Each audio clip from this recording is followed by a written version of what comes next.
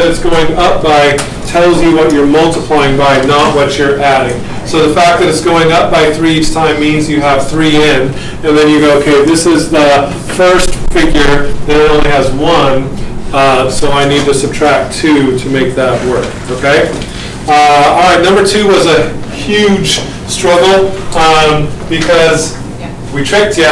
Um, It's an integer even if it's written in an unfamiliar form, okay? Integers are all whole numbers, positive or negative or zero. So this is an integer and that's an integer, that one, those two are pretty simple. 121 is also an integer, but what is the square root of 9? 3, which is an integer. And what is uh, 18 divided by 6? Negative 3, or, you know, whatever, which is an integer. So there's actually five of them in there that are integers, not just uh, three. Most of you got some of them right, and then some of you wrong, so I only took off a half of a point on those. Okay? Uh, Then number three, uh, we multiply both the things in the parentheses by 2, so that's an example of the distributive property. Number four, since the order has changed, since you went from 3 plus pi to pi plus th- 3, that's an example of the commutative property. Uh, Number six, or number five, the sum of g and the quotient of 3 and h. Quotient means divide, so I'm going to go 3 divided by h, and then I'm going to add g onto that. Or of course, since addition is uh, commutative, you could write that the other way around and it'll work out to be the same, okay? And some people use the division symbol, that's fine too, okay? Uh, Okay, number six, 6 times the difference of x and 22. So difference implies subtraction, and then since we're multiplying the entire difference by 6, we need parentheses uh, in there to show that, okay? Uh, Okay, then this one right here, I'm going to plug in 2 for all the x's, so 12 times 2 is 24, minus 9 times 2 minus 1. Uh, Then I have to do order of operations, so inside parentheses is uh, 1, so it's 24 minus 9 times 1, and that works out to be uh, 15, because I do my multiplication first.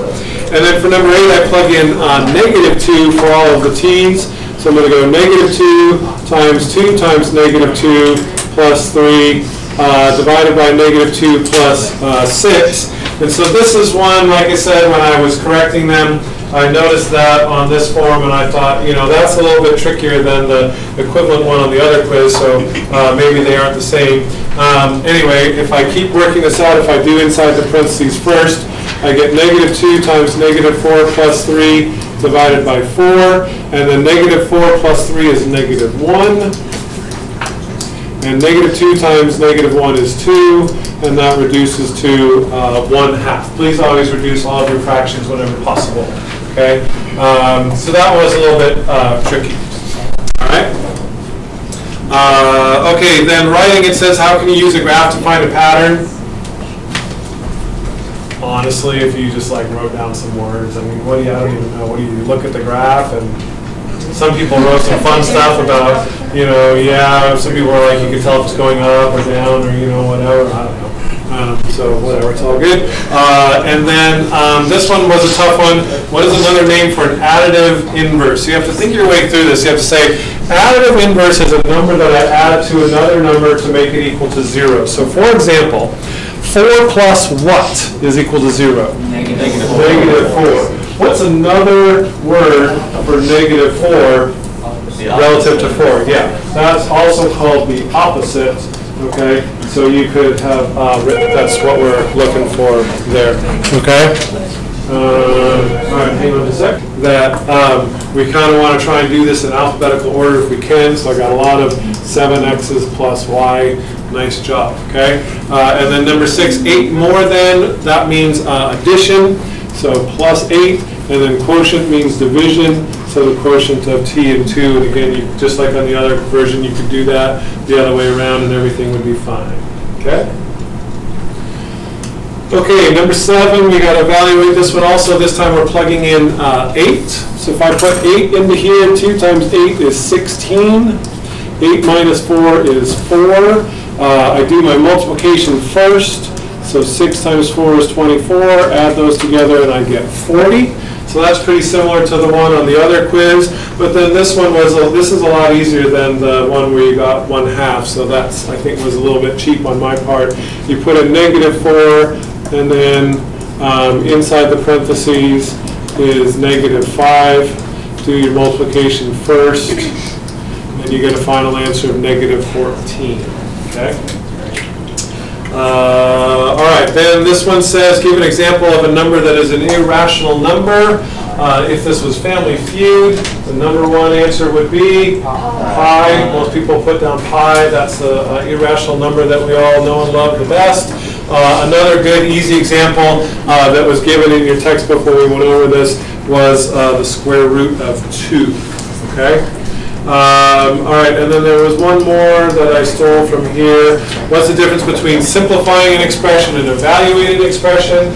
Um, Simplifying, I was kind of looking for like, you to say something about combining like terms.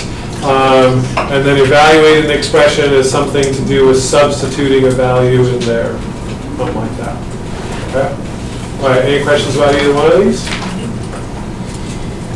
Okay, um, so let's, uh, keep learning math. Yes. In Skyward, it says that I spelled it. Says what? In Skyward, it says multiplication five. And the half. You're probably gonna have to do these last, Otherwise, otherwise I would forget that we had this conversation.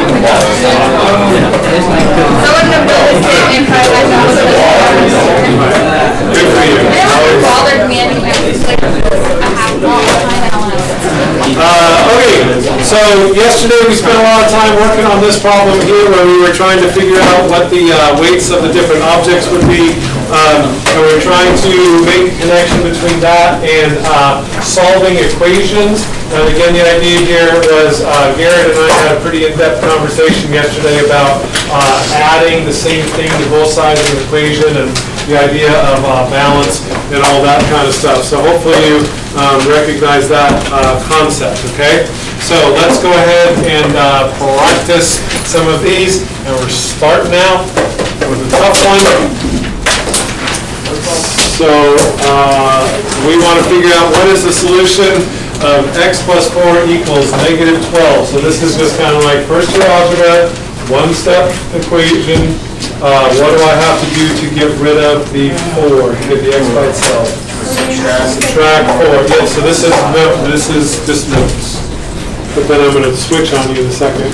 Yeah, you subtract 4 from both sides, so these 4's cancel. And then negative 12 minus 4 is Negative 4 plus negative 4, good, so you're adding two negatives, and you get with negative 16, okay?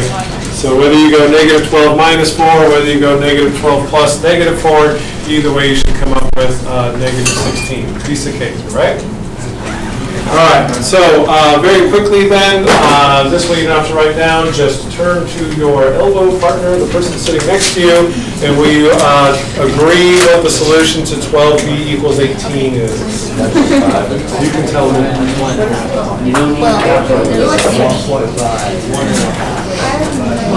What is the 12 doing to the b?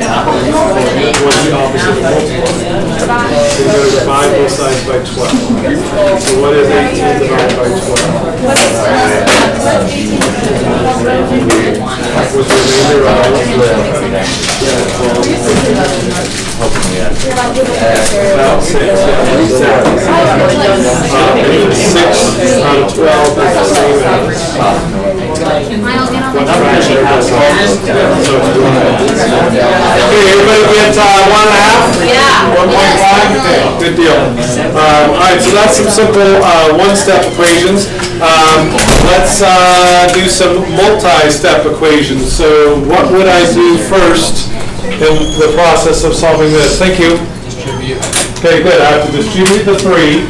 So the stuff on the left stays the same, and then I distribute the three, remember, to both of the terms inside the parentheses. So three times y is? 3y. Three y. And then I also have to go three times negative three, and that will give you Negative nine. negative nine. Okay. Uh, And then at this point, all you have to do is you have to remember that math is very racist. Um, They always want, you know, segregation. The numbers and the letters can't be on the same side together, okay? I used to teach this like, uh, as sort of like gang warfare kind of thing. The, the letters and the numbers are fighting each other. Um, they live on opposite side of the railroad tracks. You put in some extra equal signs and you get some railroad track, right? But apparently that's, you know, not really the best way to do that. Um, so what you have to decide, the fun part about this is that there are four, count them, four, count them, one, two, three, four, four steps that you can take in solving this equation that are all correct, okay? For my money, as a math teacher, I like to start by getting the numbers on the left, okay? But if you want, you could get the numbers over here on the right, or you could mess with the variables or whatever you want, okay? So how can I get all of the numbers over onto the right? Add 27. Okay, what did I do? You said that was the left, and then you said that Oh, was the right, it's and 'cause then I'm- said that right. All right. I'm sorry, I meant to say get all the numbers on the right. I'm facing you guys, so that's my left, and I got, that's my excuse. I'm ready. Now, I'm one of those guys that doesn't come like right away, like I can't, I have to sort of, you know, you know, that's it. Um, okay, so those cancel, so then I have six Y equals three Y, what's, uh, negative nine plus twenty-seven? Eighteen. Okay, and now that the letters have moved in to the east side of the tracks, the, I mean, that the numbers did, the letters have to get out of town, yeah, they gotta get to their own side, or they're gonna, you know, there's a bad thing gonna happen. So these guys are gonna leave and go over here, but when they go across the tracks, they're like switching gangs, so they're switching signs. So this used to be a positive three Y, now it's a Negative. negative three Y. Okay. I don't know, that's just, you know, it works for eighth graders. Um, okay, so six Y minus three Ys is, bless you, how many Ys do I have left? Three Ys. Because there's a fight, right? There's a, there's a fight, yeah, they fight, and, uh, right, and they cancel each other out, and so when dust settles, there's only three Ys that are left over there, okay? Uh, and then, so how, so three Y equals eighteen, uh, and then, the- yes, You divide three plus we're divide both sides by three, and so y equals six, okay? So slightly more complex than the first couple, but not too bad. Remember in uh, first year algebra, you spent like an entire day on adding and subtracting to both sides to solve the equation. Then you spent an entire day on multiplying or dividing, and then you spent an entire day on parentheses, but this is advanced algebra, uh, so we're going a little bit uh, faster, okay? Um, All right, so for this one, since it is a little bit more complex, I would like you to write this out on the same piece of paper that you figured out the mobile problem from yesterday. Okay, remember? So put this on that piece of paper, work together with the person sitting next to you or others at your table um, to figure out what the answer to this is. Make sure you guys both come up with the same solution. Okay, let me get you back up here. Um, So first step was to distribute the three, and then also distribute the negative two. Uh-huh. Uh, And then you notice that over here, this 6x and this negative 6x both cancel. And so if I combine these like terms here, that gives me negative 11 equals 11x. And then, uh, what's my last step? Yeah, Divide eleven both sides. divide both sides by 11, so you get a final answer of x equals negative 1, okay? Which is what most of you ended up with uh, in the end, okay? Uh, All right, let's uh, do a word problem here. Wait, wait. Oh, where are you from? Denmark? Yeah. Oh, so close. This is a problem taking place in Brussels, Belgium, so almost. Your neigh- neighboring country? On your border? Germany? Uh, is there, is Belgium? No? Oh, all right, well, never mind. What do I, I don't know, I love to my right. How am I supposed to know where Belgium is? Uh, okay, um, you're missing out, may I? Because I didn't cut and paste this. Haley, Haley, you're missing out. In your book is this beautiful picture of a uh, flower carpet, okay? So If you want to see what they're talking about, I don't know if this is some sort of uh, tradition that they have, but it says flower carpets incorporate hundreds of thousands of brightly colored flowers as well as grass, tree, bark, and sometimes fountains to form intricate designs and motifs. The flower carpet shown here from the Grand Place in Brussels, Belgium, has a perimeter of 200 meters. What are the dimensions of the flower carpet? And I really should have uh, copied down the picture because I feel like there's some information in the picture that I need to solve this problem. Is there a number in there? Oh, okay. So one of the sides is X, and one of the sides is 3X. Okay, awesome. Uh, All right, so perimeter means what? All of the Outside, yeah, okay, good. So what is the perimeter of this in terms of X? Two hundred equals. It's 200 meters, and what does that equal? Uh, X, or. I got, I heard 4X, I got 4X's right here, but then I need these two sides also, right? Yeah, so altogether it's gonna be uh, 8X, okay? Um, Because if this side is X, then this side is also X, and if this is 3X, then that's 3X. So if I add those up all the way around, I have a total of 8 X's, okay? Uh, So then how do I uh, solve that? Divide. Divide both sides by 8. You get twenty-five. You get 25, okay, thank you. So x equals 25. Now, unfortunately, that's not what the question asked for. The question said, what is, what are the dimensions of the flower carpet? So this side is how long? Uh, 25, because we figured out that x equals 25. This side is how long? Seventy-five. 75. So the dimensions of the flower carpet would be 25 meters by 75 meters, okay? All right, so that's uh, a little bit of algebra in action. Uh, Okay, then, sometimes when you're going along, minding your own business, doing your math, solving equations, weird things happen, okay? Uh, And so let's talk about those, um, what those options are right here.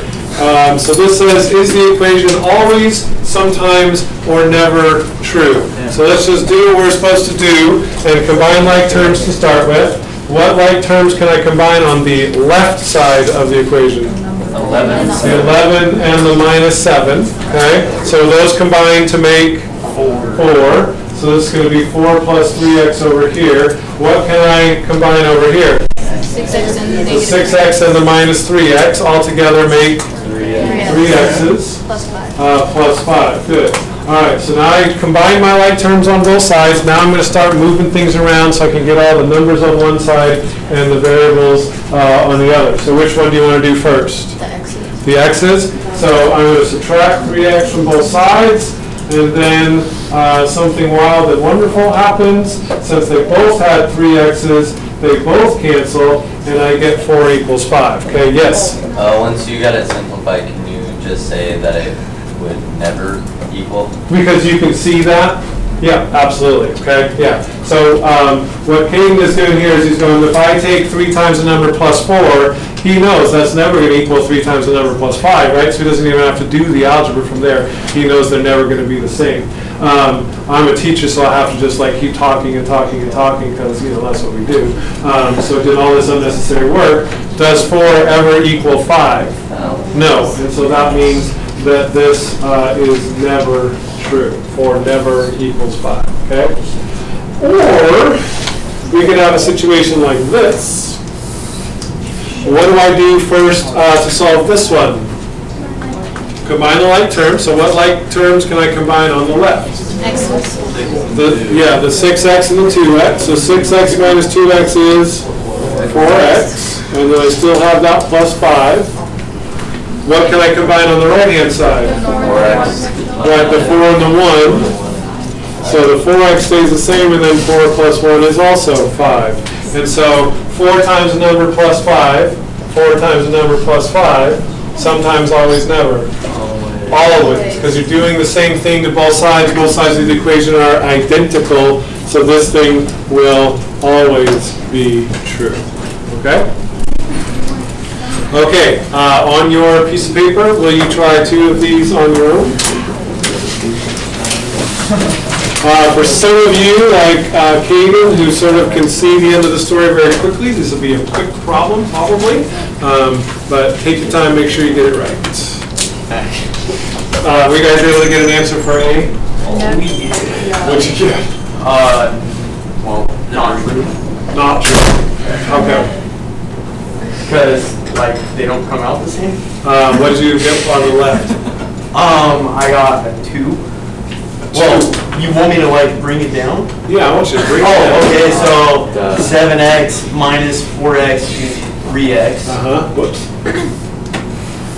Okay, And then it's gonna be plus six, and then I went to the right side and I went twelve minus eight is four, okay, plus, plus three X. okay.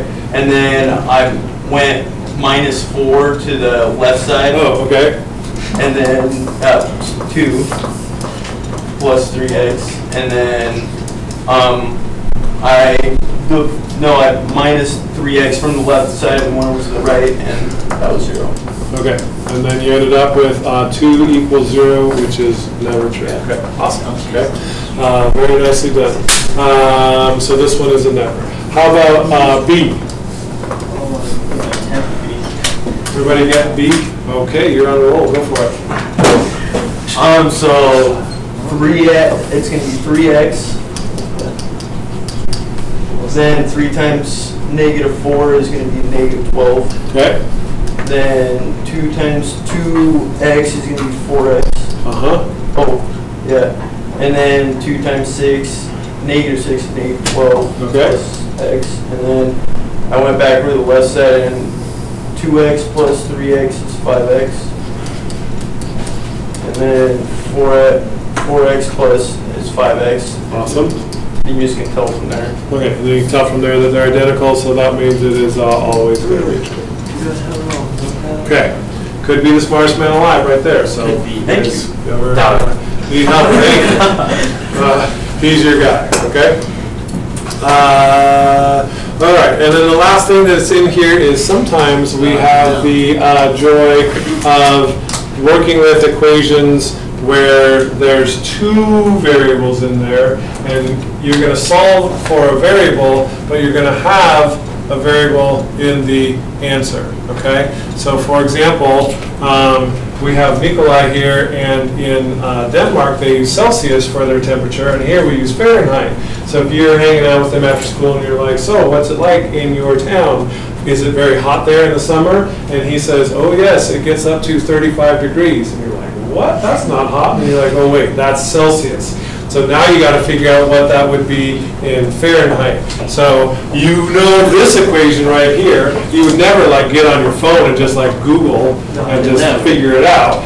You would go and you look this up and you say, okay, I've got this equation that relates Celsius to Fahrenheit, but I want to know what Fahrenheit is to Celsius. I want to take his Celsius temperature and change it into uh, Fahrenheit. So to do that, I have to solve for F. Okay? So what would you do first?